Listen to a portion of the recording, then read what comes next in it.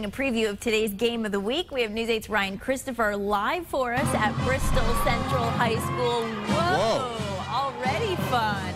Taking on Wethersfield. What's up, guys? Ryan.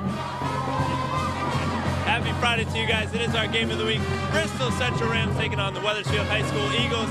It's going to be a battle, and it is loud here in the gym. We're having so much fun this morning, and I'm here with Brian. He is the athletic coordinator here at the school. You guys have a brand new field. Tell us all about it. Yeah, we're real excited.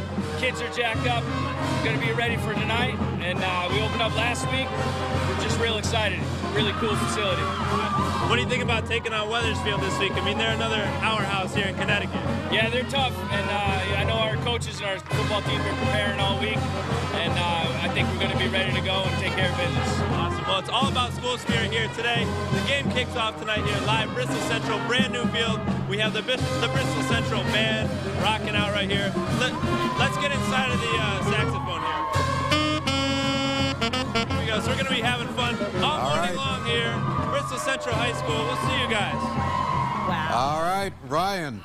Bris- Bristol Central bringing the heat. Can we get them in studio around 4.30 each morning? That feels a little boring in here right now, doesn't it? They just woke us up. All right.